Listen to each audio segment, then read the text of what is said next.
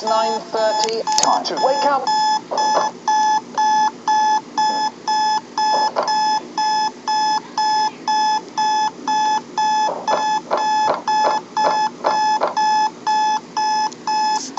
I don't know what the fucking happened.